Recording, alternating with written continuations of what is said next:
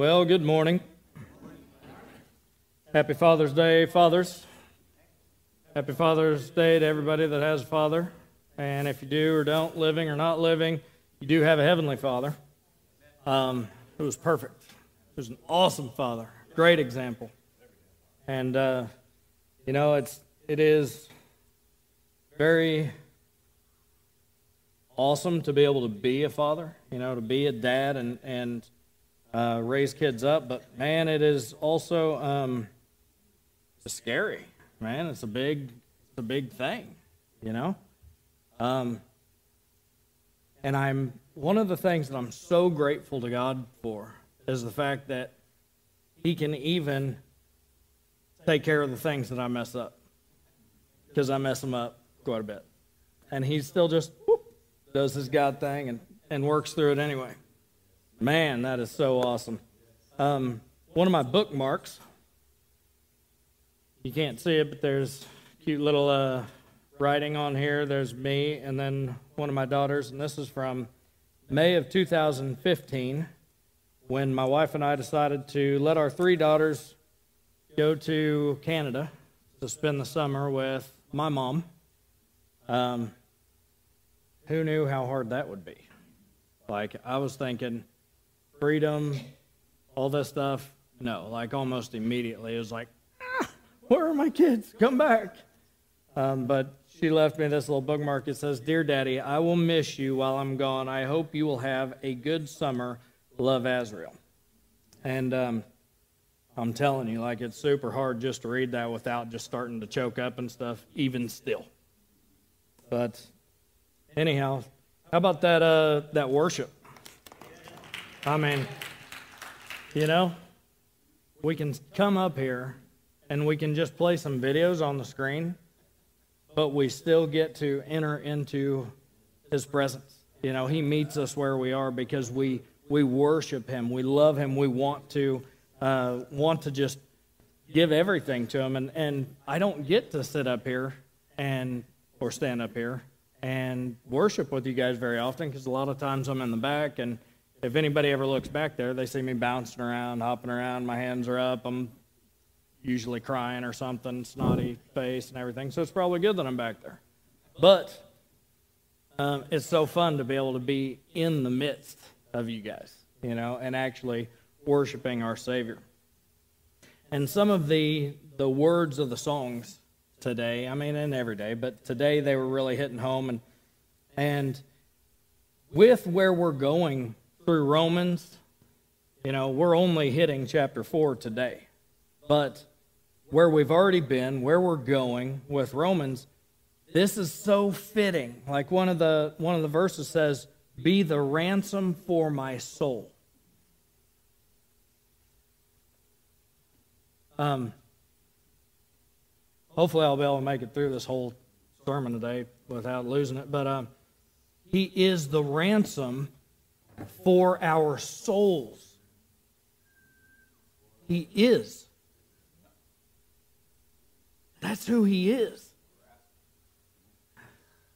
Man.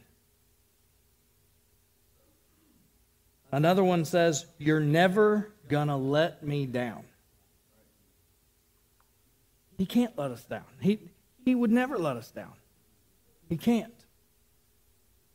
Says, You are holy and worthy to be praised. He is holy. He is worthy to be praised. He's worthy of our praise. Everything that we do. Like, I know whenever I was growing up, like, I'd come into a worship service and I'd be afraid to raise my hands. I'd be afraid to sing out. I'd be afraid to whatever because of what other people are thinking. It doesn't matter what other people think, it doesn't make the slightest difference about what somebody else thinks about you in worship. Nothing. It makes no difference. None. And if you find yourself taking the time out of worshiping and praising your God that created the universe to judge the way someone else is worshiping, shame on you and don't ever do it again. You know? Just as easy as that. All we have to do whenever we come in here and we're worshiping because He is holy and He is worthy to be praised is to think about the fact that He is holy and He's literally worthy to be praised by you. Man, I, I'm going to bounce around. I'm going to raise my hands. I'm going to sing loud and probably off key or out of tune or whatever. I'm sorry. Try to block it out and just worship. Let go of everything else. Let go of any of your preconceived notions of what this needs to look like and just worship Him. Let it all go. Let it all out.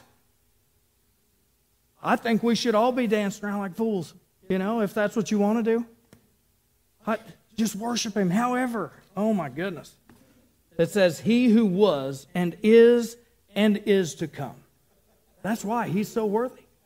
He was before you, He is now, and He's going to be here after you leave this earth.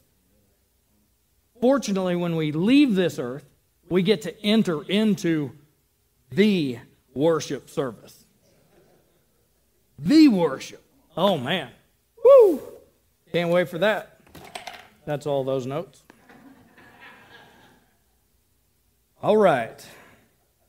Today, we're going over Romans chapter 4, and I have like a subtitle of Faith That Saves, but before we can roll into Romans chapter 4, because Paul starts out like 4, he didn't make the chapters, we did. And so this is just a continuation on. So we're going to recap a little bit of chapter 3, um, hit some highlights so that as we roll into chapter 4, it kind of makes it, it still makes sense. I know you guys were here last week and stuff, but we're going to we're to hit a little bit of it. So you can turn to chapter 3 if you want. You don't have to. You can if you'd like.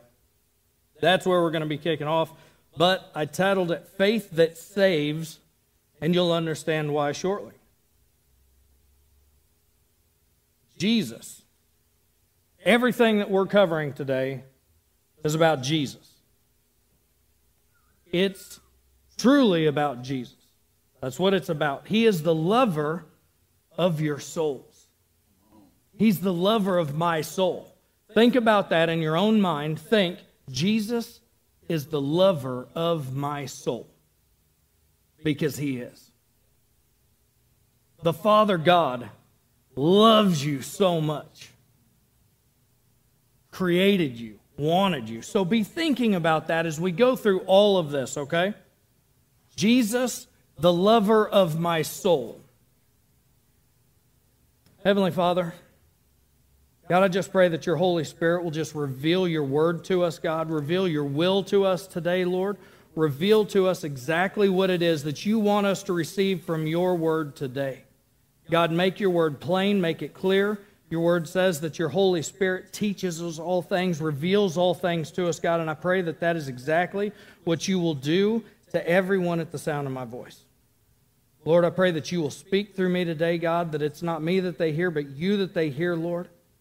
And I pray, Lord, that we'll just receive this word from you, that it will be rooted, buried deep down in our hearts and in our souls, that it will penetrate us to the core, and that we will come away from today with a new understanding and revelation and love of, of you, and an understanding and revelation and love of what you have for us and why you did what you did and laid this path out for us, God. We pray these things in Jesus' mighty name. Amen. All right. So, the gospel. You know, Paul starts out Romans saying that this is his gospel. Well, what is gospel? It's not, it's not the gospel of Paul. It's the gospel, and what gospel is, is the good news, right? It's the good news, the teaching or revelation of Christ. That's what Paul is, is giving to the Romans. The good news, the revelation or knowledge of Jesus Christ. That's what this is all about. It's everything. It is literally everything. That is what this is all about. It's why we're here. It's what keeps us pressing on is this revelation of Jesus Christ. So Paul he uses the Old Testament. He uses these Old Testament scriptures through a, a post Christ framework, through an understanding that they're talking about Christ. the Old Testament literally is leading up to Christ. And that's what Paul does here. He uses this and helps us in our own Christology. Christology is kind of a weird word. We probably haven't used it here a whole lot, but what it means is the Christian theology relating to the person, nature, and role of Christ. That's what Christology is, okay? And so, Paul, the way he breaks everything down is literally he was he was the Jew of all Jews, right? I mean, he he literally lived, breathed, walked, talked everything Judaism. He was a phenomenal Jew. And so once Paul had this encounter with Jesus Christ, everything came together. Have you ever studied something and you knew that this plus this equals this or whatever, but then one day you understood why. And then it's like everything just opens up to you and you're like, "Oh wow.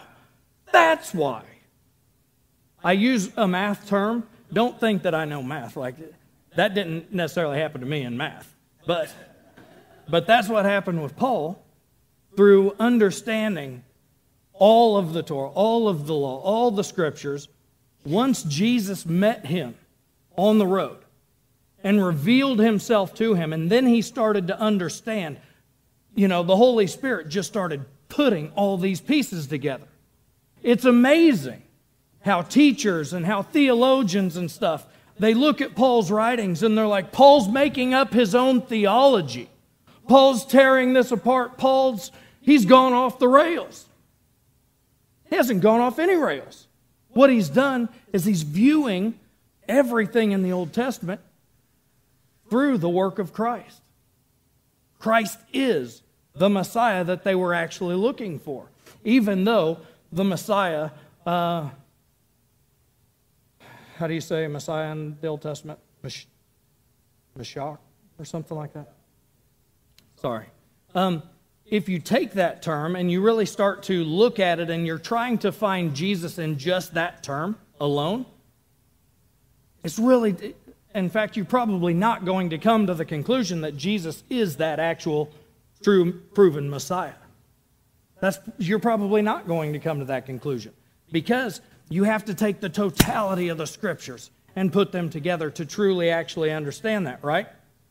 So, um, Paul fully believed that Jesus was Messiah, that he truly was the one that was going to be the Savior of the world, that was bringing all of this back together. Paul understands that faith and faithfulness and Torah, keeping the Torah, he understands that that all of that is necessary, but he's able to contextualize the Old Testament in light of the work of Jesus and his encounter with him on the road. So it's just incredible. Um, if you start to break down uh, the Jewish culture and the Messiah, the messianic um, uh, words that were coming forth, you know, that, that are scattered throughout the entire Old Testament, then you can start to put together like a, a messianic profile, essentially, to help you to truly understand that Jesus really is the real risen Messiah, that he really is the one that God was planning on saving the world through. And so if you if you break it down and you look at it, it's made up of multiple different things, not just not just by trying to follow the Messiah through the Old Testament. You have to look at things like the seed right? You have to look at things like the offspring, the dynasty, the kingship, family, servanthood, prophet, priest, son of man, son of God, a messenger. You know, like all of those things, if you really start to pull all those together, then you start getting a more well rounded picture. And then it's like, boom, it's just Jesus slaps you in the face. Like this, it's clear. There's nothing else. This is, this is the one. You know, it's incredible. So, I say all that um, simply because if, if you just read the Old Testament without trying to picture Jesus in the Old Testament, and then you see Paul's writings, you're going to think, what in the world? But we look at it from, from our own perspective today, right? We don't look at it from a second temple um, uh, understanding, a Jewish understanding from that second temple, temple period like Paul was. And so if we start to break all this down and we start looking at, at Romans, and in Romans, Paul uses the Old Testament so many times. I mean, it's, it's almost just Old Testament scripture repeated over and over, you know? But I love the way that he breaks it down for us. So, chapter 3 of Romans is really about how to get right with God. Okay, so if you remember, I, I kind of brought a twist as, as in um, we're going to look at Romans 1, 2, and 3 as people being on trial. We're going to look at the sinless, the God, or the sinful, the God, uh, godless. We're going to look at the righteous, you know, the Jews. The godless are the uncircumcised in the scriptures, and the righteous are, are the circumcised because they're following the law. And we're, we're looking at all that and we're breaking it down, and really, it was putting the whole world on trial. It was putting the whole world on trial. That's why I said anybody can get offended at what we were going to read there in the first couple chapters, right? Well, chapter 3 is so incredible. It's, it's absolutely so incredible. I'm jealous that you got to cover it, but there's a few things that I'm going to go back over and hit real quick. And chapter 3 really is about how to get right with God, and right is righteousness. Righteousness. And, and Pastor Rod talked about it being a right standing with God. To, to be righteous is having a right standing with God. Okay? And, and to be righteous and have that right standing is the only way that we can get to heaven. It's the only way we can get to heaven. Jesus says, I am the way, the truth, and the life, and no one gets to the Father but through me. That means He's the one that brings righteousness. He's the one that makes you righteous. We're going to lay it out and we're going to prove it. So, first, Paul's showing us that that none of us are right, that none of us are in a right standing with God because nothing that we do makes us right. Nothing that we can possibly do makes us the righteousness in order to get us there. So that's why Paul was breaking that down. He took all of us to court and he identifies, I love how in chapter 3 he identifies the human arguments. You'll recognize that that in 3 verse 1 it says, well, then what, what advantages are there of being a Jew or circumcision? Basically, the Jews are saying, and, and Paul was kind of uh, ad libbing for them, knowing that these are questions in their minds, right? And basically, that question is why are we chosen if we get judged the same as the godless? If we get judged as the same as the uncircumcised? You know? Why, why are we the chosen people if you're telling us that, that we're wrong too? That we've sinned too? Well, Paul goes on and says, There's much, there's much in every way, much advantage in, in every way. He says that Jews were entrusted with the oracles of God, and you can, Paul really lays that out more in chapters 9 through 11. So we'll really cover more of that later. But then he goes on and he says, um, The godless say, what if some are unfaithful? What he's talking about there is the hypocrites. That's what he's that's what he means whenever he says, "What if some are unfaithful though?" Well, how can they and basically how can we trust that God is faithful when his people are clearly unfaithful? Have you ever heard of that? People not going to church because they're full of hypocrites? You know? Well, how can we trust this God because all of his people they aren't they aren't people that I want to be around. How can we trust Him if, if these people don't look like that? That's why it's so desperately important that we walk like God, we talk like God, we have this relationship with Him, that we're invested in this relationship with Him and we look like that. Well, basically, Paul says, will, will their unfaithfulness nullify God's faithfulness? Well, just because the fact that they're not faithful, will that mean that God Himself is, is not faithful as well? And he says, absolutely not. Not at all. Let God be true and every human a liar. Listen, guys, no matter what people do, God is still true. No matter what people do, God is still true. We have to truly understand that. People might hurt you, they might let you down, but God is still true, and He's not. If hypocrites were your judge, that would not be fair. But they're not. God is your judge, and God is fair. You've always heard these the saying, only God can judge me.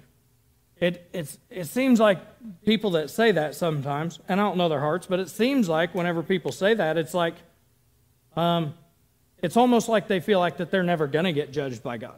You know, they can do whatever they want. Only God's going to judge me. And it's like they don't even care what that outcome is. You know, that's, uh, that's dangerous. It's a slippery slope, and it, it, I think that it causes them to um, kind of stay in, in the lifestyle that they're in. It's very dangerous. But that, uh, that quote there came from Chris Langham from Through the Word. He's a pastor that wrote a really cool app. He was the one that said, if hypocrites were your judge, that would not be fair, but they're not. God is your judge, and God is fair. And then, whenever you move into um, the next question that Paul addresses, he says, If our unrighteousness brings out God's righteousness, then God judging me isn't fair. After all, I'm only human, you know? If, if that's the case, if our unrighteousness brings out his righteousness, then it's not fair for him to judge me. Well, that's kind of a, really a very foolish defense. Because if that's the case and that's the standpoint that people want to take, then truly what they're telling God is don't ever judge any evil. Don't. Don't judge evil. You know? Because it's, it would be unfair to me. Well, that's just absolutely ridiculous. So, Paul lays out that everyone's under sin. We're all under, under the power of sin, right? Everybody at this point in this, in this court hearing, if, it, if you will, then everyone was guilty because everyone was under the power of sin. And Paul throws out the scripture. He says, As it is written, there's not one that's righteous, not even one. If everyone was guilty, then what was the point of the law? If everyone was guilty, really, what was the point of the law? Like they, they really stood on this law. Everything was had to be by the book, right? Follow every single law, every single one, and do it right. Well, he goes through and he lays it out in, in verse 19 through 20.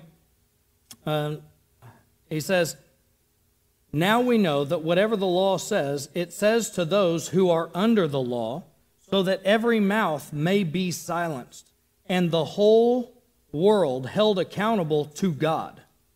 Therefore, no one will be declared righteous in God's sight by the works of the law, rather, through the law, we become conscious of our sins.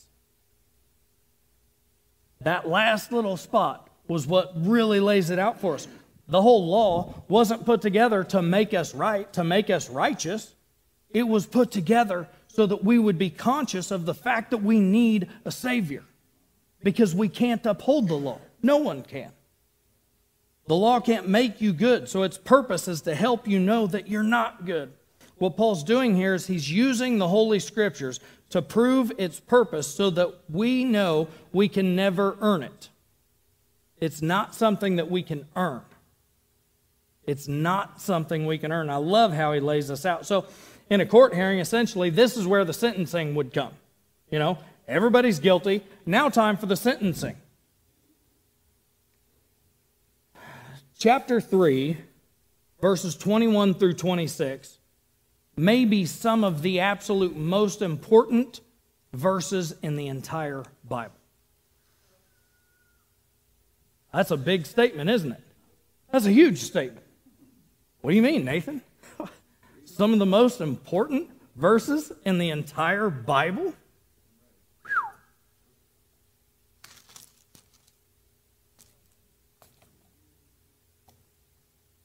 Let's read verse 24 real quick. Being justified as a gift by his grace through the redemption which is in Christ Jesus. Now, please understand that, that I'm not somebody that takes one scripture and tries to build all this theology on, on one scripture. I'm absolutely not whatsoever. But what I do want to prove, and, and draw out here of these scriptures is Jesus' redemption for all of us through this. So let's look at 21. Righteousness of God through faith. It says, But now the righteousness of God has been manifested apart from the law, although the law and the prophets bear witness to it. The righteousness of God through faith in Jesus Christ for all who believe. For there is no distinction, for all have sinned, all of us, and fall short of the glory of God, and are justified by His grace as a gift through the redemption that is in Christ Jesus, whom God put forward as a propitiation, basically as the sacrifice by his blood to be received by faith. This was to show God's righteousness because in his divine forbearance he had passed over former sins. It was to show his righteousness at the present time so that he might be just and the justifier of the one who has faith in Jesus. This is this is incredible. So redemption, what redemption is? Redemption, Jesus bought your freedom. He paid the full price. That's what it's saying. He bought your freedom and paid the full price for it. This was his atonement for us, and atonement means at one mint. It means it's brought together, it's brought back together. Atonement. It's brought back together. So think about whenever, um, basically, when you're not right with your spouse or a friend or whatever, and you know that it's your fault, you know that you're the one that was wrong, and you, you wish you would do anything to make it right again. Anything. Because you know it was your fault. That's what atonement is. It's God making that right again. It's Him making that way for you to be right. And that's exactly what He does here. So, it also says to justify us. If God is righteous, He has to punish sin. Right? If He's righteous, He has to punish sin. How can sin go on unpunished? And, but that's where we trip up. That's where we fall. And we're like, well, I've been in sin. I've, I've sinned. I'm a sinner. But if you stop there, then you're done. You're stuck. You're dead. You're done. But that's not where it stops. Okay? Because God's righteous, He has to punish sin so as to be just and to justify what it said there in the last verse. It said, to be just and to justify those of us who have faith in Jesus. He will justify you. He has justified you. If you have faith in Jesus, you, are justified from Him. Justify means to declare righteous or to make good. That's what to justify means. So, how can God be both just and forgiving? How can He be good if He justifies bad people? He does punish. And Jesus took the punishment. His punishment has been divvied out, it's been given out. And Jesus took it. Jesus took it for you. And you're like, but I deserve it, it's mine. You can't hold on to it. He took it from you, it's no longer yours. Therefore, he is just to forgive. He forgives us, and he's, he is justified in forgiving you. Isn't that awesome? He's justified in forgiving you. All right. That's pretty much chapter 3. Recap. Let's jump into Romans chapter 4.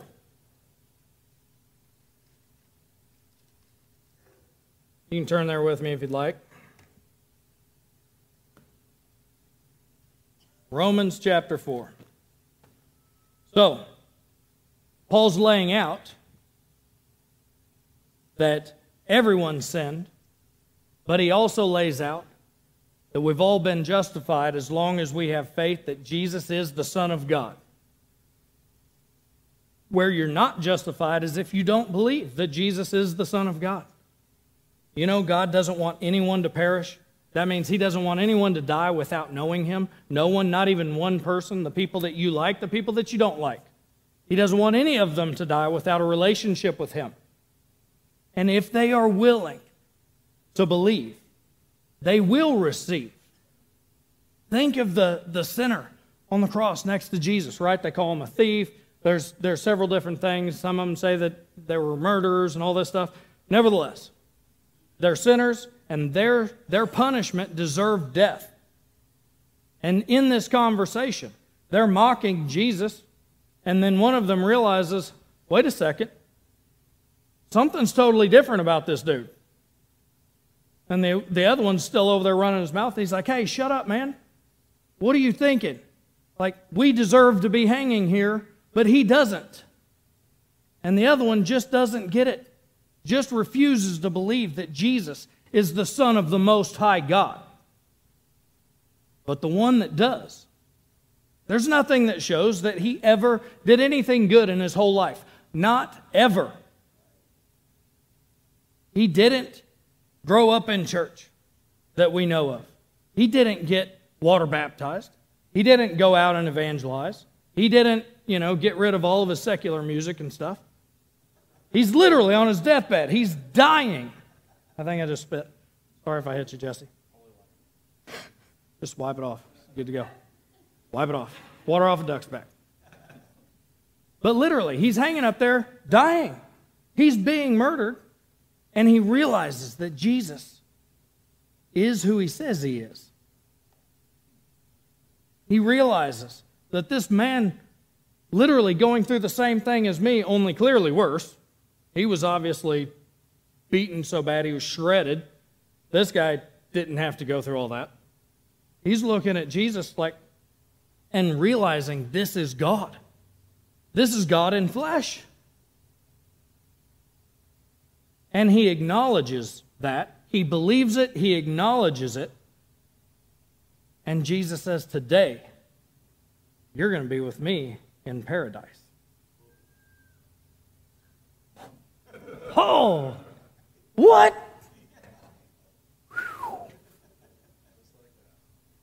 Just like that. Just like that. Woo! So, that brings us in Romans chapter 4, verse 1. So, Paul, and remember, Paul, Jesus told, Jesus told, uh, I believe it was Ananias, he said, Go to Paul, or Saul. He's staying uh, on Straight Street.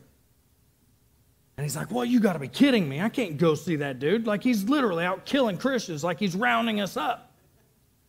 And Jesus says, No, no, no, no, no. He needs to know how much he has to suffer for me.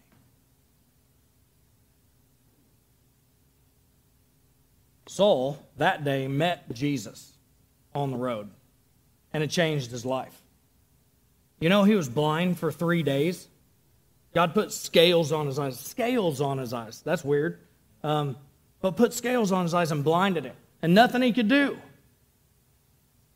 And I'm thinking about these three days that he literally was blind and not, not able to see. He couldn't, you know how you might experience something, but whenever you're looking at the world through these eyes that allow you to see colors and, and movement and all this stuff, like eventually it kind of dulls what you just experienced. You're hearing things, you're seeing things, you're experiencing things. He didn't eat either, you know, through those three days, but he couldn't see. So nothing is distracting him really. Nothing's coming in these portals to distract him.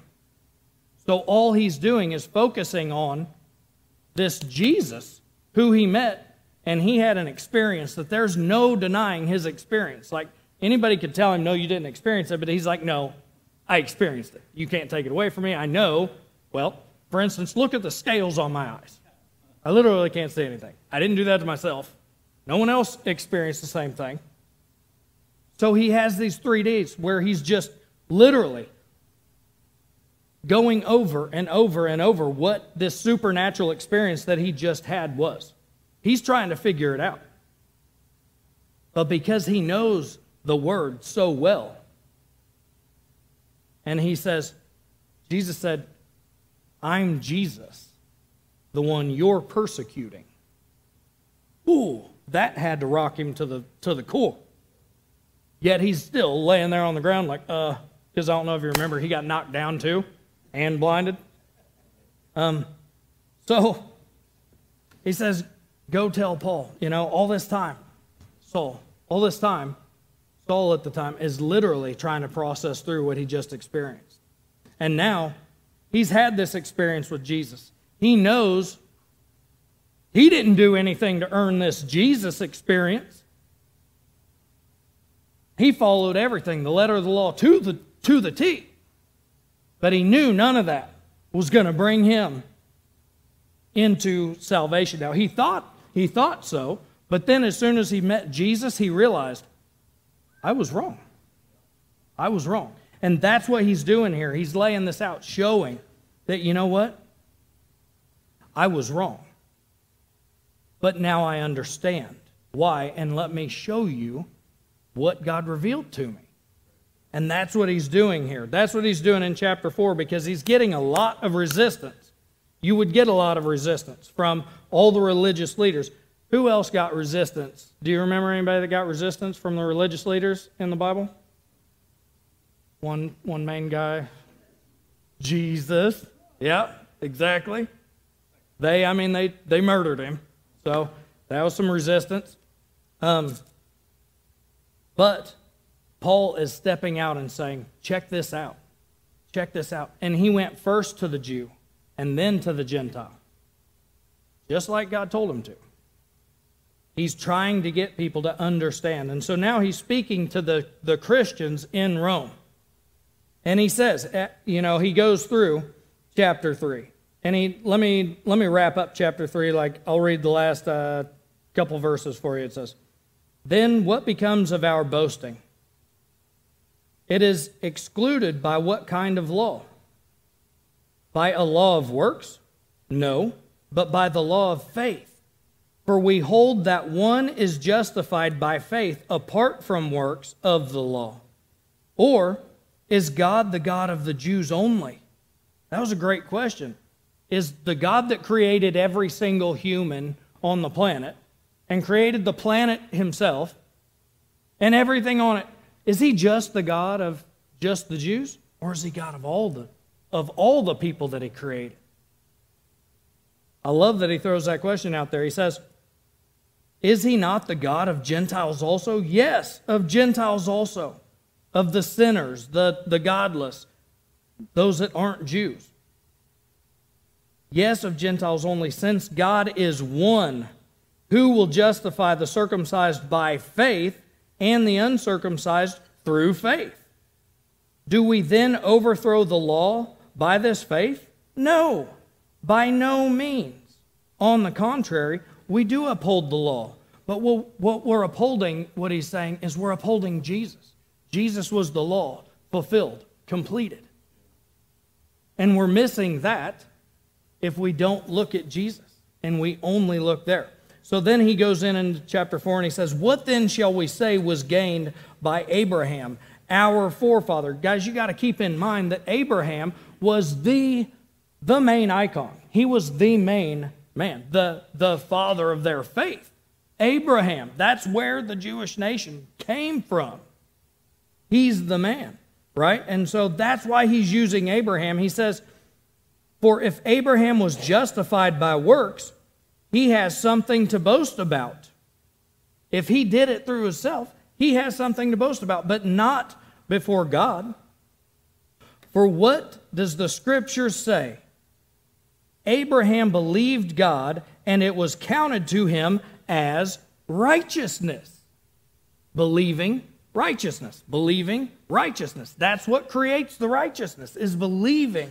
And here's the kicker, though. He says, Now to the one who works, his wages are not counted as a gift, but as his due. He earned them. Naturally, he's going to get them. He earned them. That's what's That's what you do. You work, you get paid, right? They were so caught up in believing that you have to work in order to earn this thing that he had to break it down and even show that Abraham didn't have to work for it to get righteousness, the father of their faith. And to the one who does not work, but believes in him who justifies the ungodly, his faith is counted as righteousness. That's awesome. Just as David also speaks of the blessings of the one to whom God counts righteousness apart from works. So he lays out that Abraham didn't have to work for it. He also brings up that David even clearly said that it was righteousness for those who didn't have to work for it. He says, Blessed are those who didn't have to. Now, how can we be good but not proud, and holy and still humble? God's solution is righteousness of faith, by faith. We can't brag if we didn't earn it, right? So we would all be self boasting. We would all be proud. We would all be puffed up if we could earn it. God says, His word says that He opposes the proud, but gives grace to the humble. If He opposes the proud, why would He put something into play that's going to make you naturally proud of yourself, of what you've done? He wouldn't. He makes it to where you can't.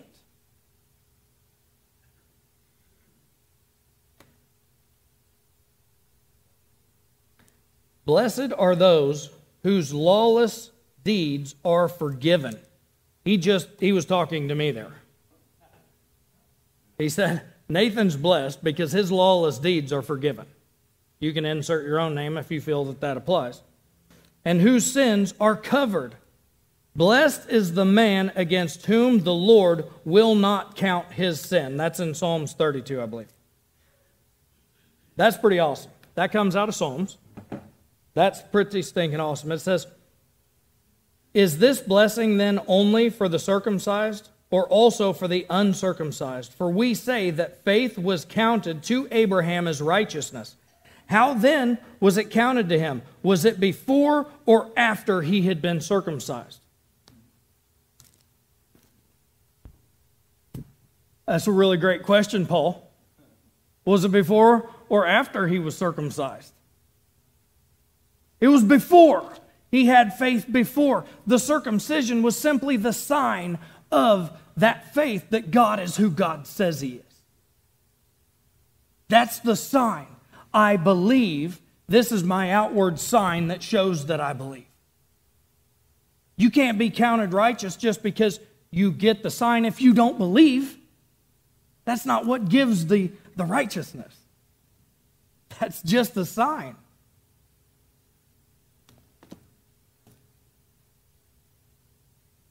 He received the sign of circumcision as a seal of the righteousness that he had by faith while he was still uncircumcised.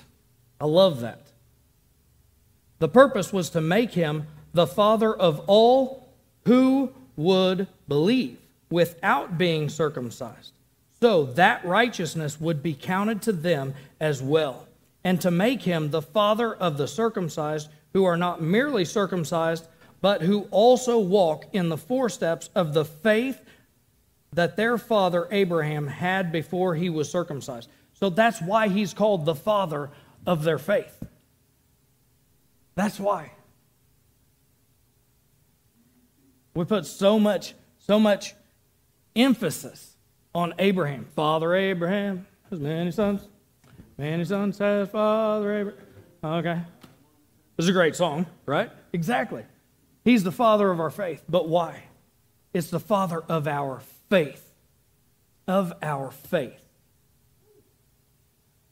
Guys, this is this is so key. And I know that so many of us like we've heard it, we hear it, we know it, we understand, yeah. But who in here has still said who who puts this yoke back on of sin that weighs them down? And they think that they have to overcome this, that they have to overcome it. I just, I just have to do this one thing. I just have to do this thing to get this off of me. I just have to do this one thing because I deserve to go through this. I deserve to go through this because I was wrong. because I'm sick, I'm twisted, I'm whatever. I deserve this. I need to be punished. No, you don't. No, you don't. The punishment was taken. The punishment was taken. You don't deserve it. You don't deserve it anymore because the word says that he's made your most, uh, that your most righteous deeds are as unfilthy, uh, uh, are as filthy rags. But his blood, the sacrifice that God sent Jesus, that shedding of his blood, where it poured out, he took the beating. You think you deserve a beating? He took it. You think you deserve to be whipped? He took it. You think you deserve to get smacked in the mouth? He took it. He got his beard ripped out. He got punched in the face. You think you deserve to be spit on? He took it. He took it. He took it. And literally, the only thing that he asked in return is to believe in my son. Believe that he is God, that he is me. Jesus told Thomas, If you've seen me, you've seen the Father. He says, Look at me. All you have to do is believe. You just have to believe. And then by that believing, like, don't, so many people get it twisted. They're like, Well, yep, I believe. Boom. Well, and then they say, Well, they say, I believe.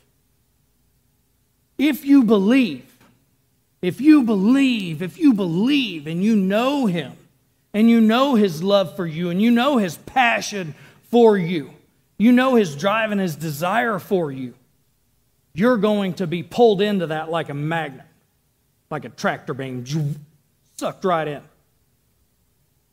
And then you're going to change. It's going to change you. You're not going to change you, it's going to change you. That's why he says, Seek first the kingdom of God and his righteousness. And then you're going to see all these changes.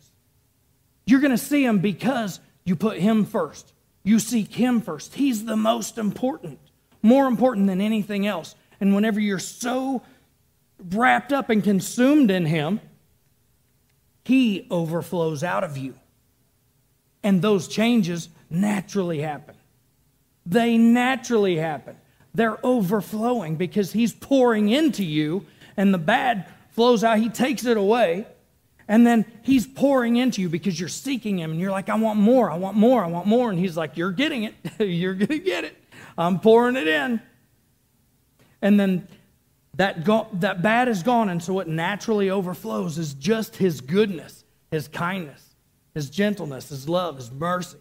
All of the fruits of the Spirit just start pouring out of you. You are no longer who you were, but you've been crucified with Christ. It's no longer you that lives, but He that lives in you because you just give up yourself. You say, you know what? You're so much better than me. You're so much better than what I could possibly do, what I could possibly present to anybody or anything. You're so much better. So all I want is you. And he says, I'm giving it. I'm giving it. I'm giving it. I love this. You want more of me, but guess what? I want more of you. I've wanted more of you from the very beginning. I've been waiting for this. This is my gift. It's His Father's Day when you come to a full relationship with Him and you surrender yourself and you say, you know what? I don't want anything other than you. He says, that's the best gift you could ever give me. You know, He literally, the word says that He was sitting in the courts of heaven and He said, let us go make Adam. Let us go make man in our image and in our likeness. Because he wanted to. He wanted to. He wanted you exactly you. That's amazing. It's incredible. Doesn't get any better than that. This promise is realized through faith as we continue on through chapter 4. Verse 13 it says, For the promise to Abraham and his offspring, and his offspring, that he would be heir of the world did not come through the law, but through the righteousness of faith. He told Abraham, You are going to inherit the world. Your offspring will inherit the world. All of it. You're going to get it all. not because you keep this law perfectly, but because of faith, the father of our faith. Four, if it is the adherents of the law who are to be the heirs, faith is null or is, is not necessary. And the promise, that would mean that that promise that he just made to Abraham is void. Is void. It doesn't even matter anymore. For the law brings wrath, but where there is no law, there is no transgression.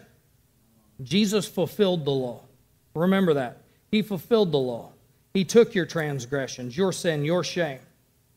That is why it depends on faith in order that the promise may rest on grace and be granted to all of his offspring, not only the inherent of the law, but also to the one who shares the faith of Abraham, who is the father of us all. As it is written, I have made you the father of many nations.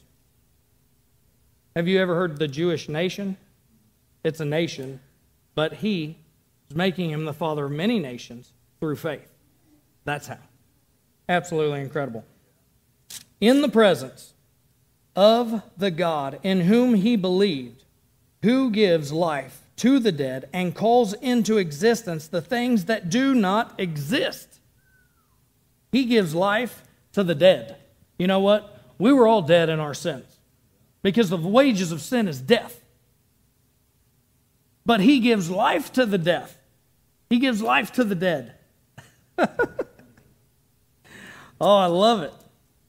The God in whom he believed who gives life to the dead and calls into existence the things that do not exist. Have you ever felt like you want to be something? You want to be somebody? You want to be more like God? You want to be more righteous? You want to be more holy? You want to be more pure? But you're like, I'm just not. Well, He calls it into existence and makes it real. You know, He spoke and created the world, He spoke and created light, He spoke and created water. He spoke and created you. He spoke and breathed the breath of life into you because He's a creator and He spoke into existence the things that were not, that are. So if you want to be more like something, you want to be less like something, you want God to create something in you, then ask and He will. Ask and He will. Speak it yourself too because you are made in the image and the likeness of God. He's a creative God. And if you're like him, then you're a creative person. So speak life. If you speak death, you better expect death. If you speak life, expect life. Expect those good changes, but you better start speaking them out. In hope, he believed against hope. In hope, he believed against hope that he should become the father of many nations, as he had been told. So shall your offspring be. He did not weaken in his faith when he considered his own body, which was as good as dead, since he was about a hundred years old. Anybody seen a hundred year old person have a baby? Me neither, but I've heard about it. Right here. Since he was about a hundred years old, or when he considered the barrenness of Sarah's womb. What's funny is God told him, You're going to have kids. And he's like, Okay, that's cool. Let's, okay, I believe you. Sarah, Sarai, on the other hand, not so much. She got there. She got there. Look, if God makes it happen, He makes it happen. You know what I mean? It doesn't matter how old you are, it doesn't matter what roadblocks are in the way. He'll move whatever He wants to move in order to get you where He wants you to go. And that's exactly what He did here. So, no unbelief made him waver concerning the promises of God but he grew strong in his faith as he gave glory to God. Do you notice how he grew strong in his faith? He gave glory to God. You want to grow strong in your faith? Give glory to God. That's what Abraham did. You want to grow strong? Give glory to the one who can make you strong. Glory to the God, the creator of the universe, the lover of your soul.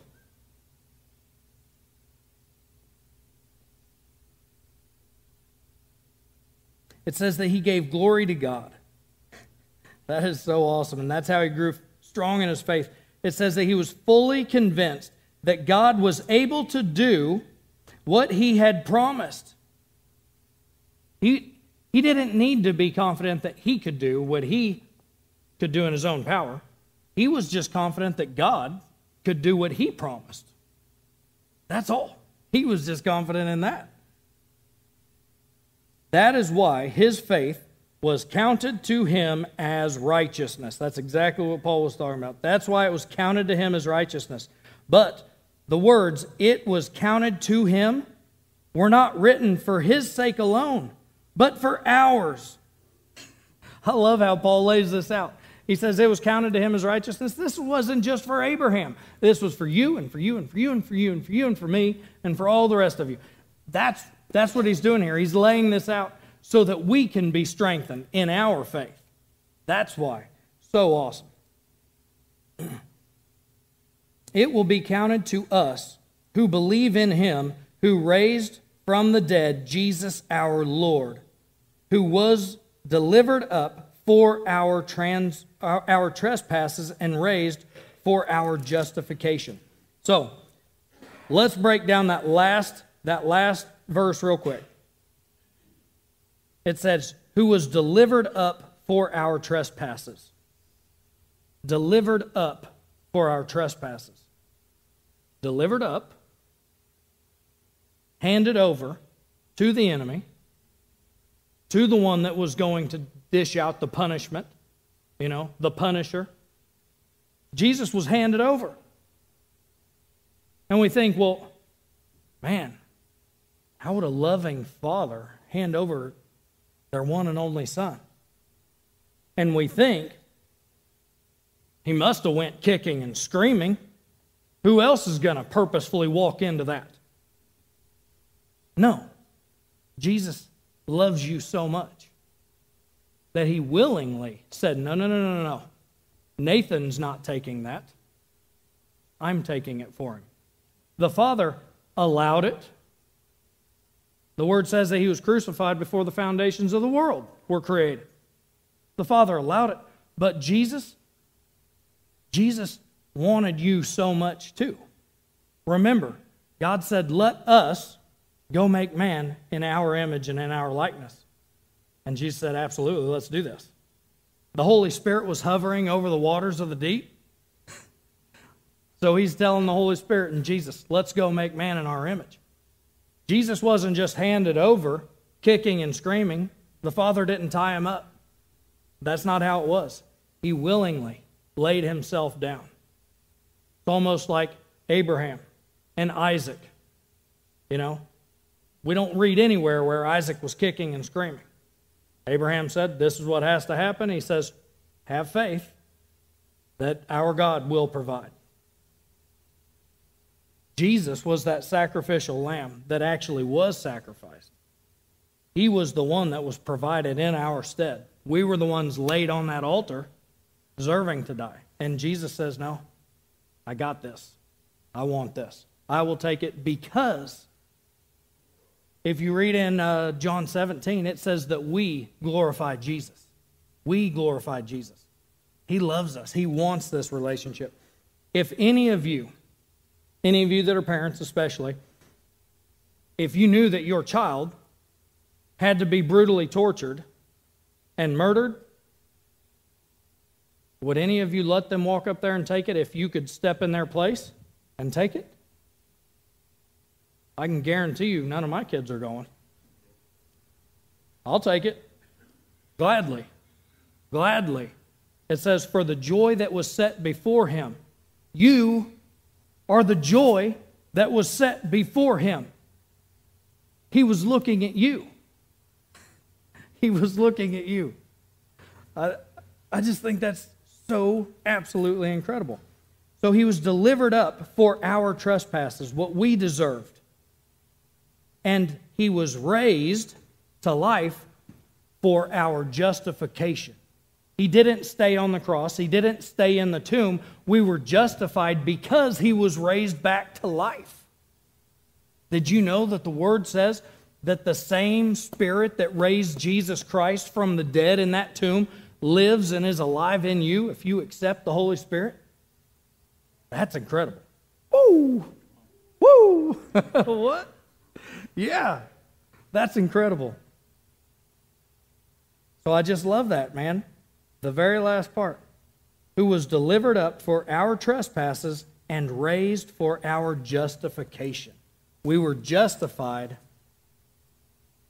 through faith in Jesus, believing that Jesus is who he says that he is, that he will do what he says that he will do, and you can't earn it. You can't. Seek him and let his life flow through you. You will no longer be who you think that you are now. Let that old man die. Let it die and be raised to new life in Christ. If you guys, if anybody in here hasn't accepted Jesus as their personal Lord and Savior, and you want to do that, and you want us to walk through that with you, we will absolutely gladly walk through that with you. Love to. There's zero better decision that you could make. No better decision that you could possibly make than to let Him live through you. Incredible. If you haven't and you want to, please feel free to come up here. We'd love to talk with you more about it. You can call us if you're watching online. You want to reach out to us online. You can feel free to do that. Um, the office will put you in touch with us or whatever, and um, that would be super fun. But guys, we we love you. Happy Father's Day. Happy Father's Day to you, God. Thank you for making us. And uh, let's just pray. Hmm. Heavenly Father, thank you that you made the way where there was no way. Thank you that you gave us the way to come to you, Lord. You allow us to be able to enter into a relationship with you, God. Not into a religion with you, but into a relationship with you. Thank you, Lord, that you have made the way where there was no way. God, help us to keep our eyes fixed on you, focused on you, Lord. Help us to seek you first in your righteousness, knowing that your Son, Jesus, and what he did is what truly makes us righteous. Lord, root yourself deep down in our hearts. And Holy Spirit, I pray, Lord, that you will just work in us, that you will come in us, that you will dwell inside us, Lord. That what we see is what you want us to see. What we hear is what you want us to hear, God. What we speak is what you're speaking through us, through your Holy Spirit, God. Holy Spirit, we invite you today. Lord, and I just pray that that you will just wash all of our sins away, Lord, and make us as pure and white as snow, God. Help us to accept you, Jesus, and what you've done for us, the works that you've done for us, the sacrifices that you've made for us. And help us, God, to come boldly into your throne room, rejoicing and singing praises because of the awesome and amazing things that you've done for us. You have saved us and taken us from death to life.